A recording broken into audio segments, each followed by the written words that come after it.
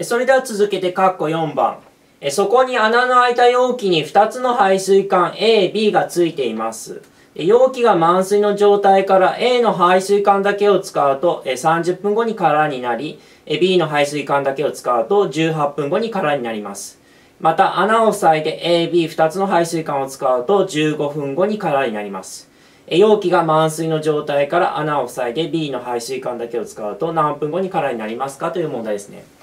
で、えー、っと、ちょっと特殊な部分あるんですけれども、穴が開いてたり、穴が塞いでいたりつ、ここめんどくさいので、穴のところちょっと線を引いて、えー、っと、シートしましょう。シートを置き換えて組み合わせ考えましょう。えー、まず2行目の条件、A の排水管だけっていうのは、これ穴が開いているので、えっと、A タスシートしましょう。で、これは仕事算と同じように、もう一つ条件があって、全体の水の量、え書いてないので一番簡単な数字え1としましょう。そうすると1分間あたりに排出する水の量、えまず穴と A だけの時は A 足す C ですね。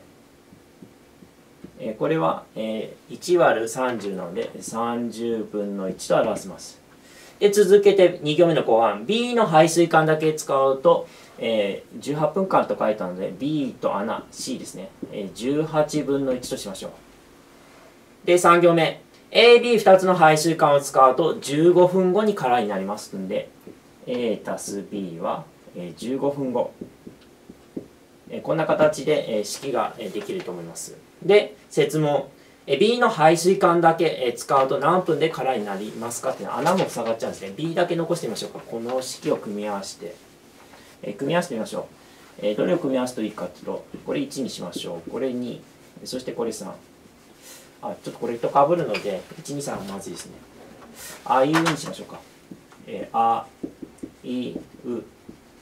そうすると、いとうを使うと、こういう式ができますね。いたすうで、a たす b たす b たす c ですね。で、18分の1たす15分の1。